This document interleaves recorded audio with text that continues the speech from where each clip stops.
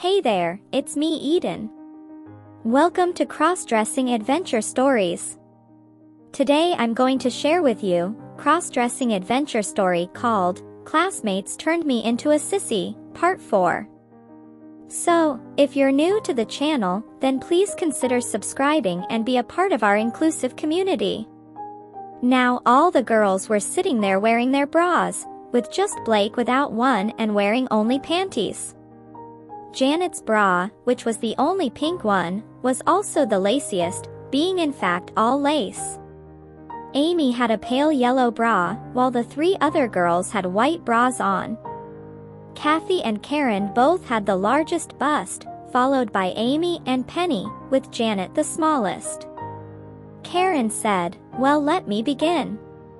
As you can see I have on a white bra, which is the most common color to wear because it will not be really visible under most blouses.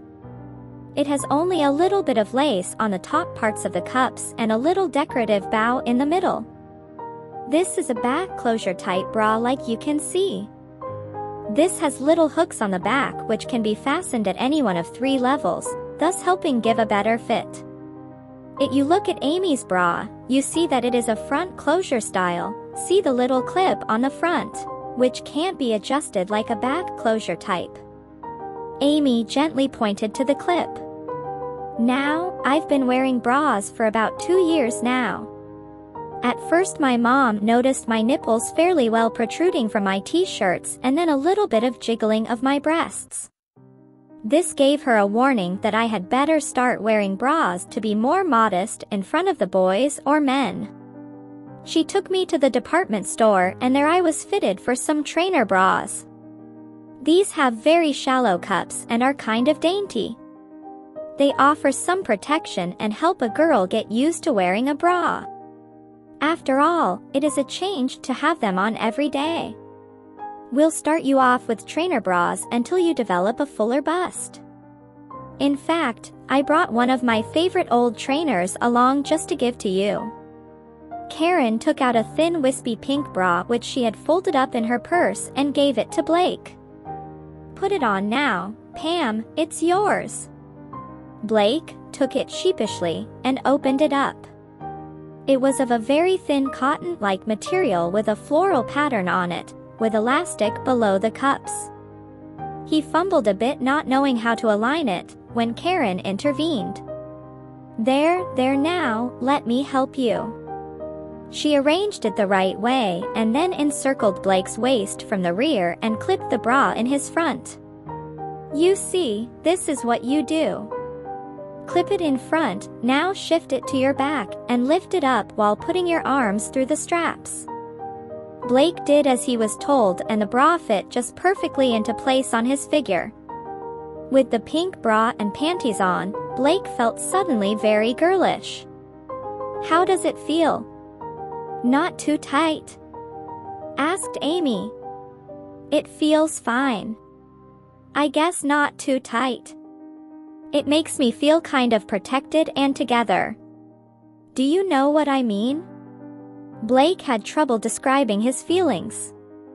That's exactly how a girl feels in her bra, said Karen. Now let me finish my story.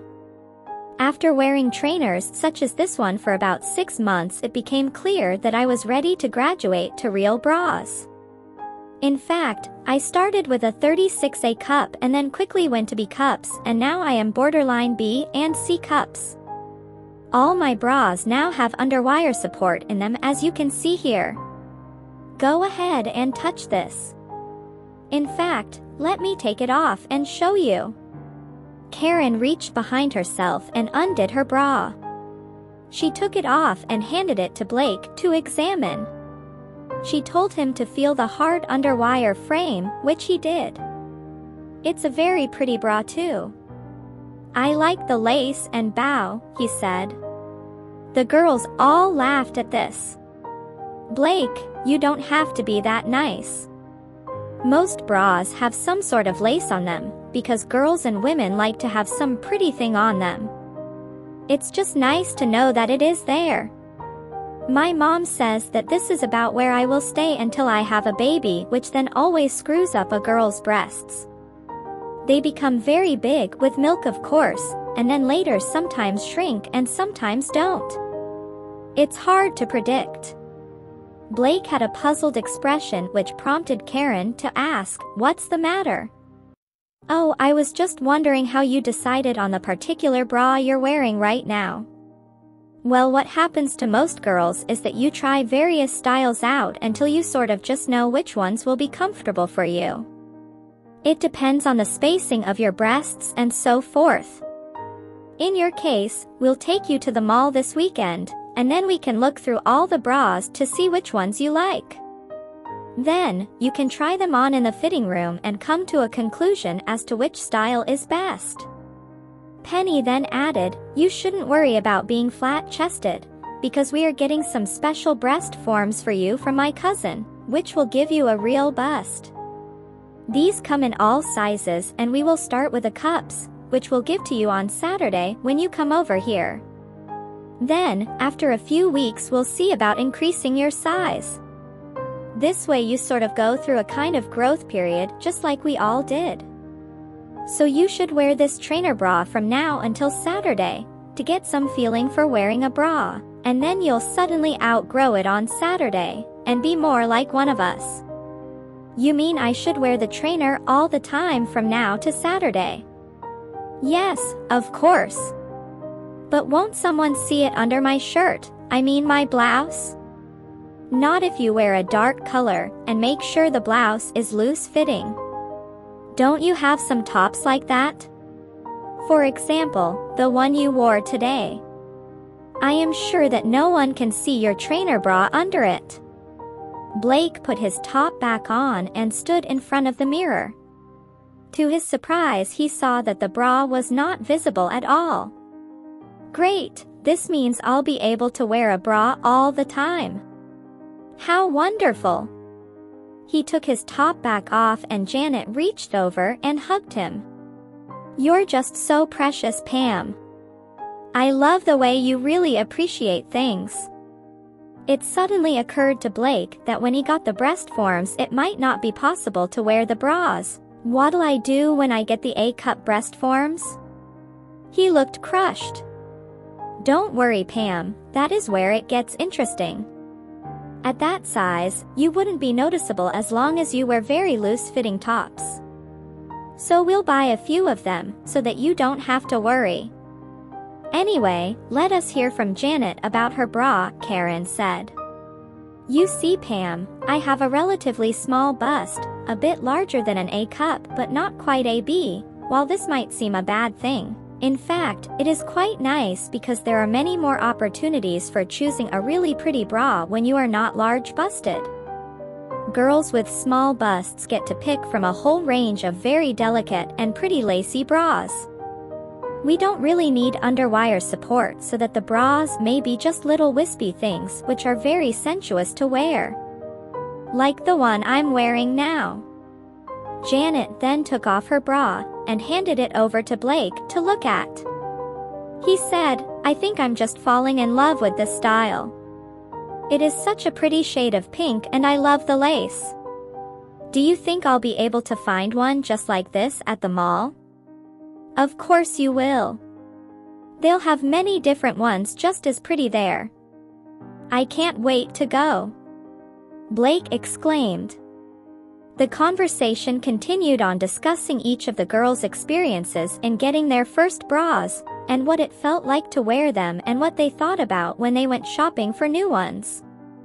They mentioned how to try and coordinate bras with the style of top they were wearing, matching not only color, but the bra type to the outfit. For example, with a very tight top, you want to wear a smooth bra while with a white blouse, a very pretty lacy white bra is appropriate if you feel daring. The girls discussed when they put their bras on in the morning. Janet, Penny and Amy all put them on right after they peed, while Kathy and Karen liked to wait until after breakfast. That way they lounged around in their nighties feeling very casual. They also told Blake how they chose their bra each day as they opened their dresser drawer. They usually would pick out a matching bra and panty set that was coordinated to the outfit they wanted to wear. The girls put their blouses and tops back on, which left Blake sitting there in just panties and the trainer bra. Now we have to get all your measurements, so we'll be prepared for shopping on Saturday. Karen said. She went and got a tape measure, with which they measured Blake's chest, waist, and hips. They concluded that he would wear a size 36A bra and size 12 dresses. Now we have a special present for you which we have already gotten. Janet came over and gave Blake a large box. He opened it carefully and discovered a wig of styled long light brown hair which matched his exact coloring. With this, and a little makeup we are sure that you'll be very pretty. Go try it on. Blake went into the bathroom with Janet where she helped him on with the wig and told him some basic facts about styling it and caring for it. When he came out, the girls excitedly told Blake that he looked just as attractive as any of them. He just needed a little blush on his cheeks and a little trimming of his eyebrows, and he would be very feminine looking. Before they went to the mall the girls would show him how to put on makeup, including lipstick and some eyeliner and eyeshadow. That's all for today. See you in the next video, till then take care. Oh yes, please like and subscribe to my channel. And also share your feedback, it really means a lot to me.